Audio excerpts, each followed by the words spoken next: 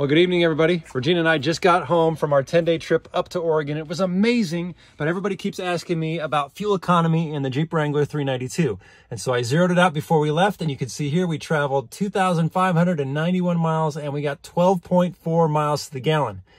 I'm not mad about that, not at all. Actually, I'm really happy with it because I'm on 37 inch mud terrain tires. We did quite a bit of off roading along the way as well. Plus, we were towing the trailer the whole time. So I'm pretty impressed with that. If I was driving the truck, it would have been just about the same.